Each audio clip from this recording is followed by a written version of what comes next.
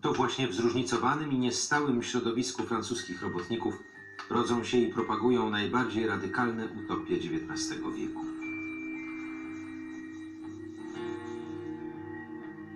Fourier marzył, by każdy pracował tyle, ile zechce i by małżeństwo oraz rodzinę zastąpić nowym miłosnym układem rządzonym przez prawo przyciągania.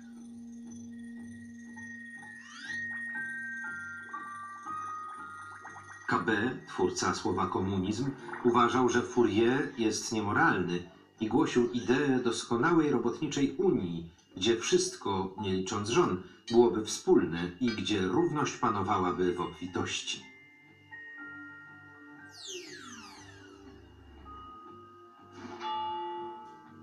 Leroux stworzył religijną filozofię postępu, odrzucającą egalitaryzm i komunizm i domagającą się szacunku dla własności prywatnej. Proudhon uważał natomiast, że własność to kradzież i chciał pokojowo zaprowadzić mutualizm. Permanentny buntownik Blanqui był przywódcą rewolucji robotniczych i zwolennikiem nielegalnych akcji. Jego ostatnia tajna organizacja nosiła poetycką nazwę Towarzystwo Kur Roku.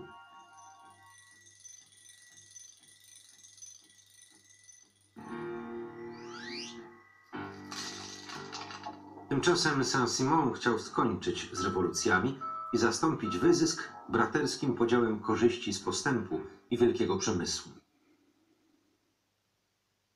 Robotnicy dość życzliwie przyjmują te utopie, których autorami są najczęściej mieszczanie wyklęci przez własne środowisko. Jednak niechętnie myślą o udziale w utopijnych wspólnotach, takich jak Ikaria założona w Ameryce przez Etienne'a Cabeta w 1848 roku.